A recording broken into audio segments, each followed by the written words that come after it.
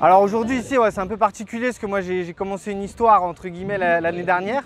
avec le jeune Evan euh, qui, est revenu cette année et qui voulait qu'on le refasse ensemble, qui a depuis une année de foot en plus dans les jambes donc euh, un peu plus de, ballon on va dire, qui se fait un peu plus plaisir. Mais oui l'idée c'est de jouer avec, euh, des plus jeunes ou en tout cas des néophytes et pourquoi pas leur donner envie de venir pratiquer cette discipline un peu méconnue encore ou du moins vulgarisée dans le monde du foot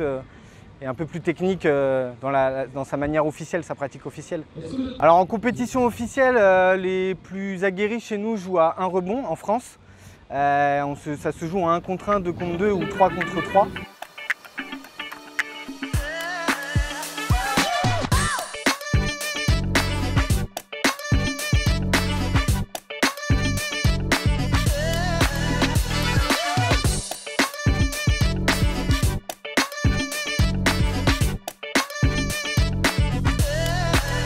Alors il y a des gestes très particuliers à l'image des sports de raquettes, euh, tennis, etc. où on peut faire des, effets qu'on appelle nous des vrilles ou des semelles qui permettent d'éviter d'être tout le temps dans le, côté puissant. Euh, donc il y a les attaques fortes, un coup droit, on n'a pas de revers nous, mais on va dire les attaques plutôt fond de cours et une panoplie de, gestes un peu plus techniques qui permettent euh, de, de berner un peu l'adversaire, on va dire, ou du moins de changer la façon de jouer.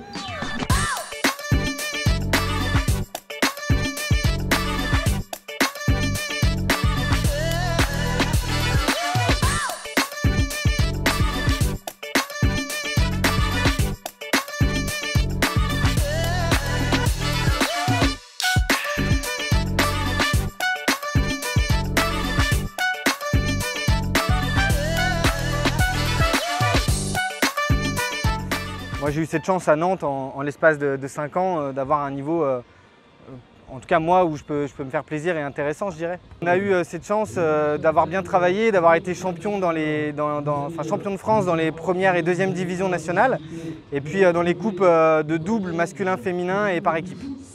Et là l'équipe première actuellement en République tchèque pour les championnats du monde des clubs, donc une belle saison sportivement parlant.